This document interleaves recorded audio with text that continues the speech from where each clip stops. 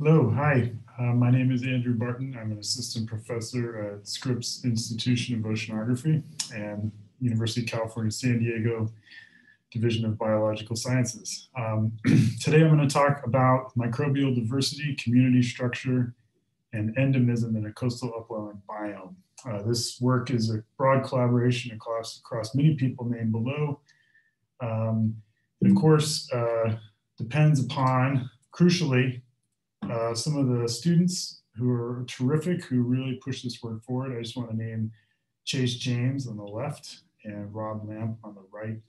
Uh, these are two uh, up and coming students who I'm sure everybody will be hearing uh, more of in the coming years. Um, in fact, Chase James will have an e-poster, which I encourage you to uh, take a close look at.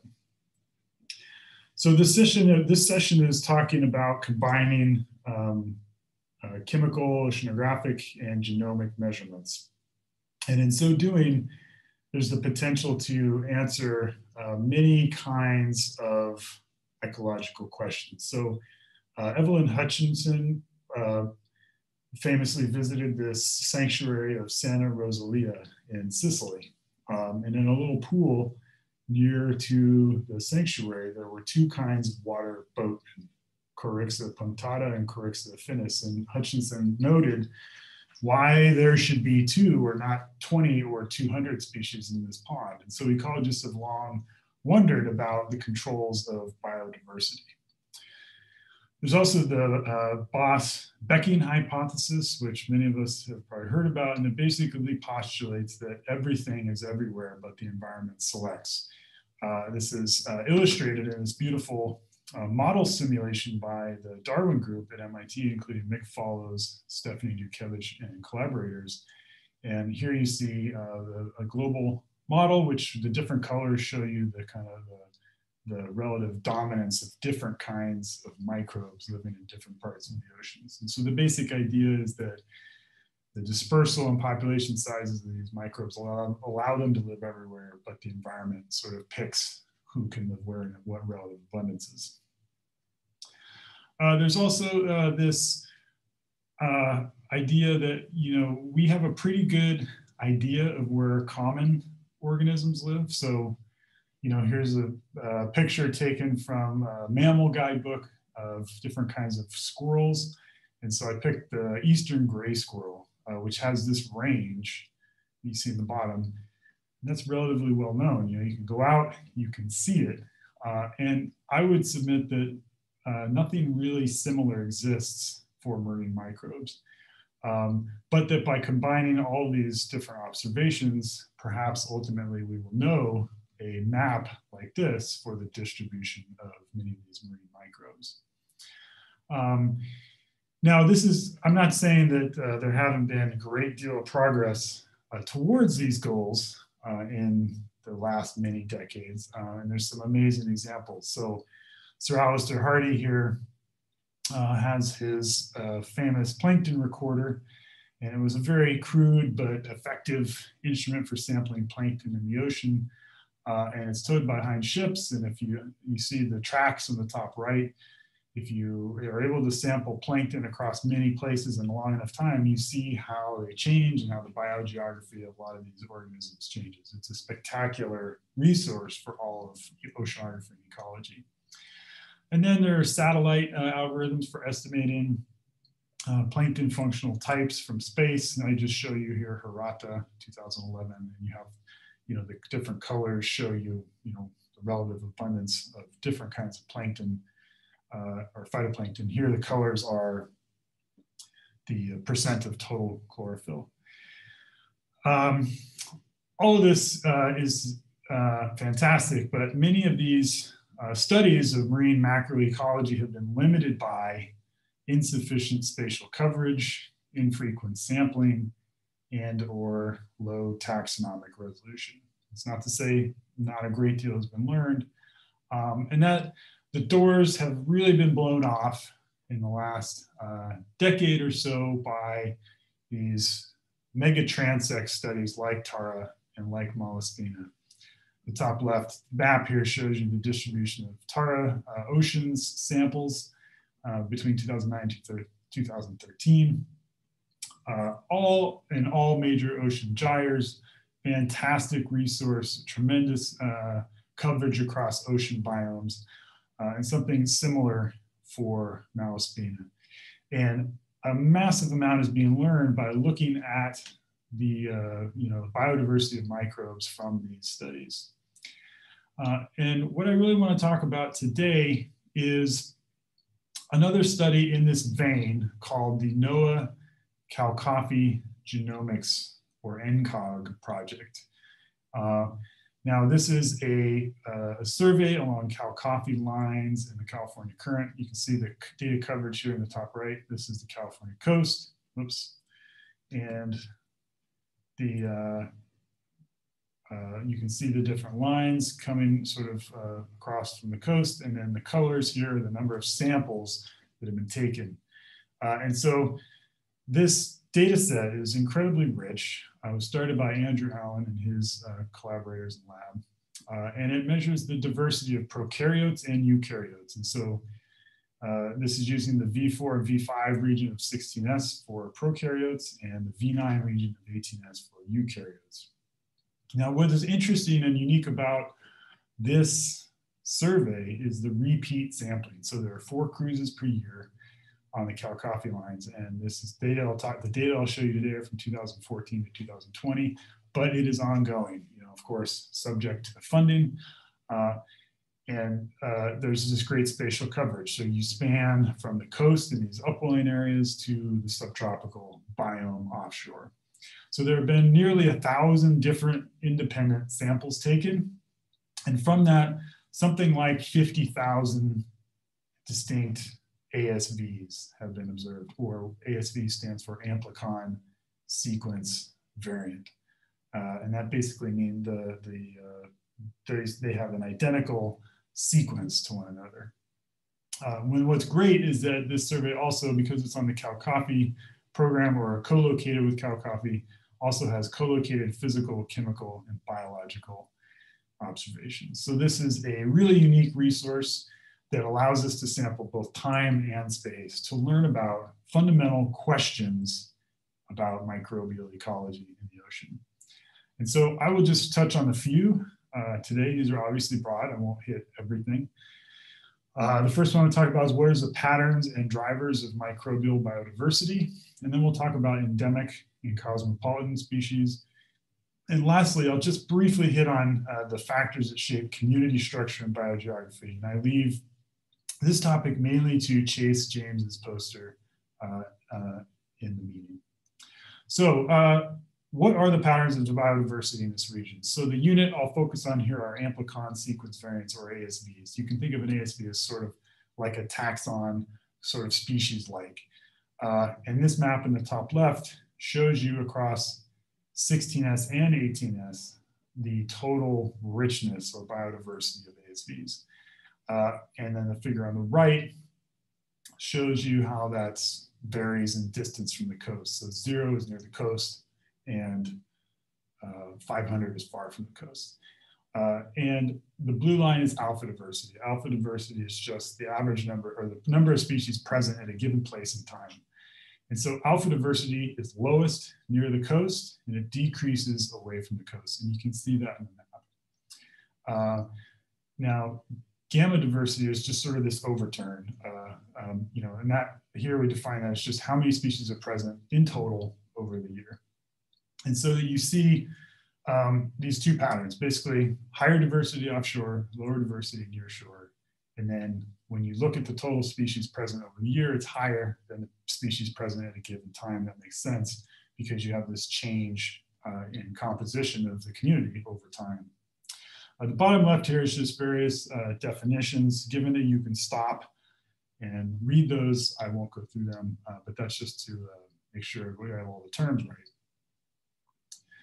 Now, does this pattern agree with what we found in other surveys like TARA? And the answer is basically yes. Uh, so this figure is from Ibarbalz or Ibarbalz. Um, I'm not sure how you pronounce it exactly. Fantastic paper. It summarized the sort of latitudinal diversity gradients from the Tara Oceans data. And we have prokaryotes on the left here and then eukaryotes on the right. Uh, it shows essentially that diversity is highest in the low latitudes and it decreases away from the equator. Um, this is uh, similar in spirit to what we're finding here in this upwelling zone, that the, the more nutrient uh, rich and colder areas tend to have overall lower diversity than the warmer uh, subtropical regions. Uh, so no, this is not to say that all organisms behave this way. So for example, diatoms uh, show an inverse pattern. Uh, this figure on the bottom is just the, uh, the map on the left shows the mean alpha diversity for diatoms and it's highest near the coast. Uh, and you can see that in this um, uh, figure on the right, it summarizes that there's this opposite pattern from the rest or sort of the total microbial diversity. Uh, and so basically what we find is that the diatoms, you know, slightly behave differently than other groups. And there are other groups that have that as well. And so I just want to stress that here.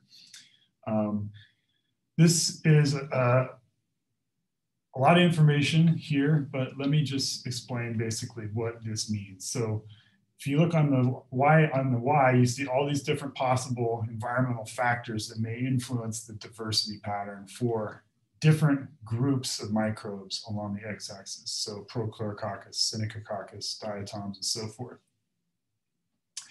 Uh, the circle size tells you whether it's really important or not for that microbe. If it's important, it's big. If it's less important, it's small. And that's determined by the AIC score uh, from a GLM model. Uh, the color tells you whether that environmental factor is correlated positively or negatively. And so the, the big takeaway here is a couple. Number one, not all the groups have the exact same predictors. So there, you'll often see discussions in papers about, well, what controls biodiversity? And the takeaway for me is that different groups have different factors controlling their patterns of diversity.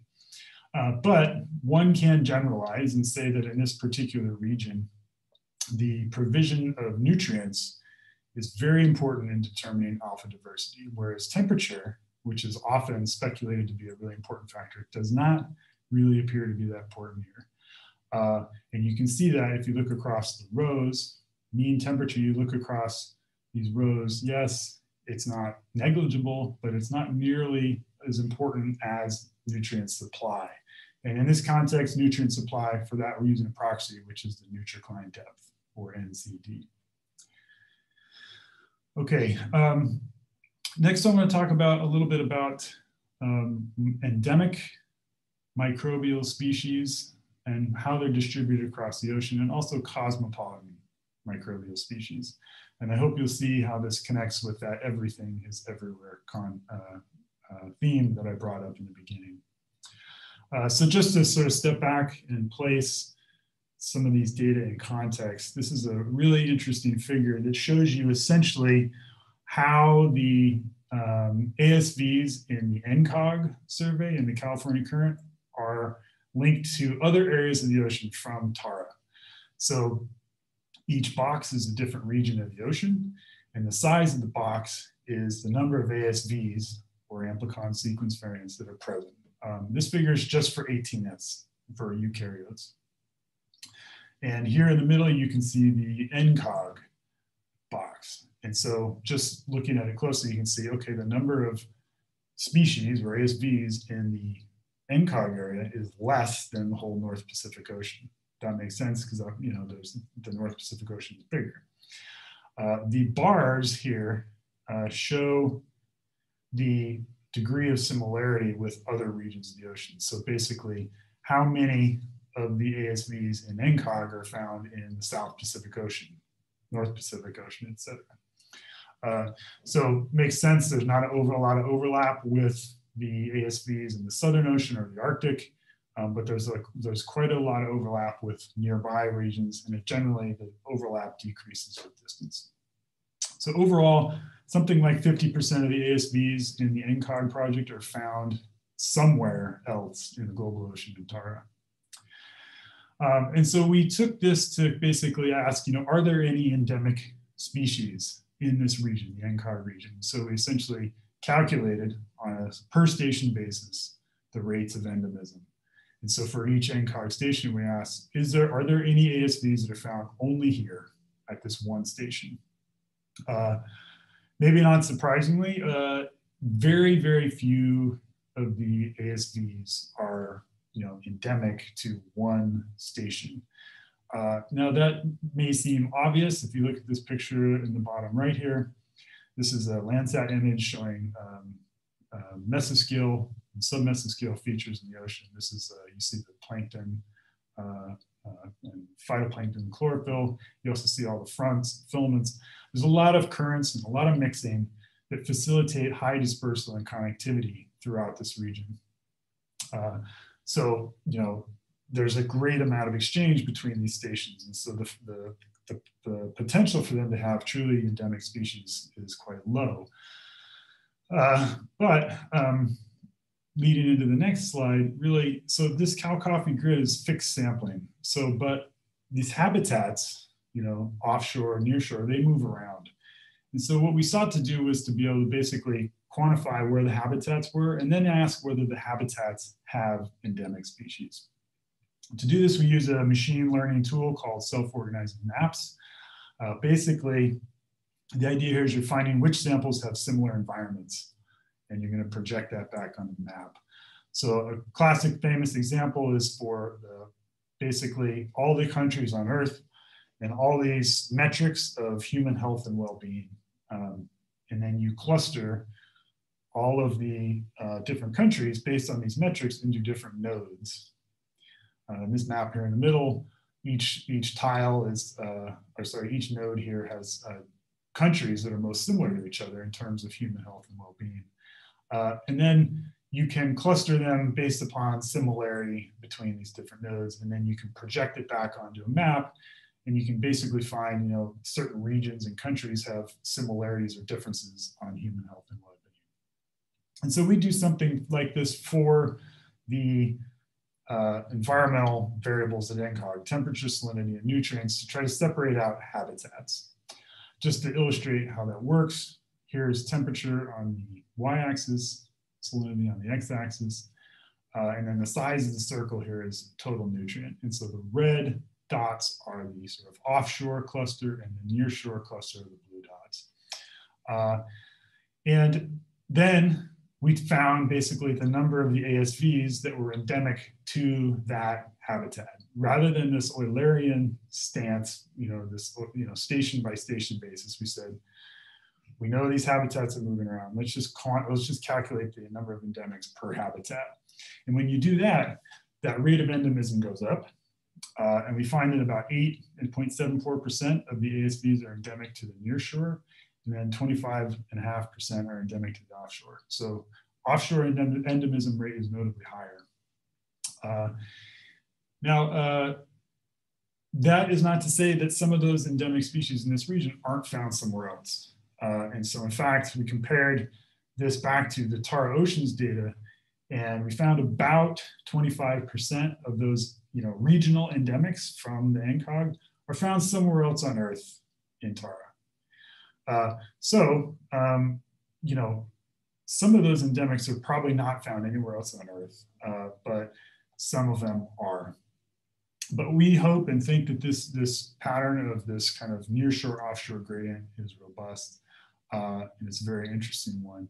Um, another, another interesting uh, think takeaway for how to think about this is related to sampling effort.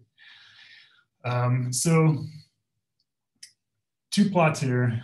Uh, on the y-axis in both is the number of endemics, and on the x-axis is basically the number of uh, stations sampled on the left, and on the right is the number of cruises. And this is all for just the NOAA Coffee Genomics Project data.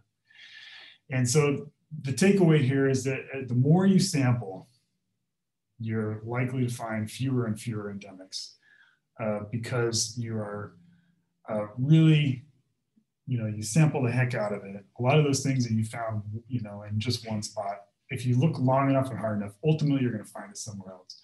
But the other thing here we found is that it doesn't go to zero. We have no evidence that it goes to zero. And so we do think there are things that are truly endemic to the California, the southern part of the California current ecosystem. Uh, but your ability to find them uh, and your estimate of rates of endemism is going to be critically tied to how frequently and broadly you sample. Uh, so we think that repeat and broad scale sampling is really crucial to study uh, patterns of endemism and biodiversity among marine microbes. Now, another interesting thing uh, is this concept of cosmopolitanism. So if everything is everywhere, you know, one might expect that in theory you could find lots of microbes in you know, virtually everywhere. So we, using the calc, uh, the data from NCOG, we looked for ubiquitous and cosmopolitan species. So we define ubiquitous species as something that's present at every station and every cruise, which is a, obviously a high bar. And cosmopolitan is an organism that's found at every station at least one time.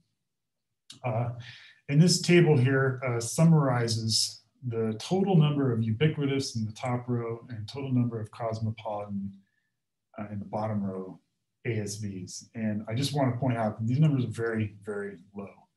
Uh, so uh, cosmopolitan ASVs in this region are extremely rare and ubiquitous ASVs are even rarer still.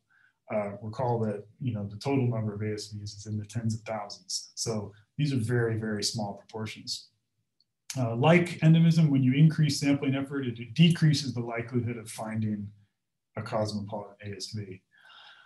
Interestingly, the, uh, the, the, the, organisms that are really widespread tend to be heterotrophic bacteria like SAR11. That makes sense given they have uh, small, small size, great dispersal rates, and huge populations. Uh, uh so for example, these 33 of the cosmopolitan ASVs, many of them are different uh, ASVs of SAR11. So uh, last theme talk about is what are the factors shaping microbial community structure and biogeography. Um, for this, I refer you to a great e-poster by Chase James. Um, Chase has been doing excellent work in uh, understanding the factors that really shape microbial communities.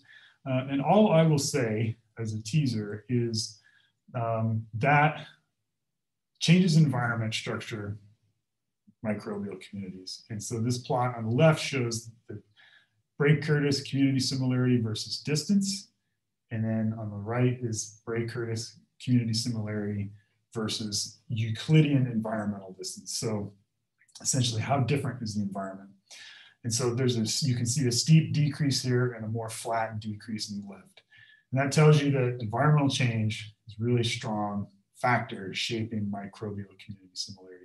This is relevant because there's a lot of discussion about whether dispersal and neutral processes are important in shaping microbial communities or uh, local uh, environmental uh, selection. See Chase's poster for more on this um, uh, in more detail. So some takeaways, uh, just a you know, brief overview. In terms of pattern diversity, diversity generally decreases in nearshore habitats. Um, the annual total at a given location is greater than the diversity present at a given time due to this computational or compositional overturn. Certain microbe groups don't follow this pattern. Diatoms are an exception. They have higher diversity near the shore. And uh, the diversity gradients do not appear to link to be temperature or do not appear linked to temperature, but to environmental or nutrient uh, availability instead. Uh, so some of the global surveys suggest that temperature is really important. We're showing that in this region, that's not the case. Now, in terms of endemism and cosmopolitanism, uh, nearshore habitat has a lower rate of endemism than the offshore. Um, now, many of these uh, regional endemics are also found in Tara. But one thing that's clear is that the cosmopolitan species are extraordinarily rare and that ubiquitous species are almost non-existent. Sampling effort obviously has an important influence on this. And uh, this is an emerging picture is that uh, seascapes have uh, endemic species, but not necessarily in individual locations. So the appropriate unit for thinking about where endemics live in the ocean is like a habitat that is similar. That's sort of like a biome or, or a habitat, but it moves around in time.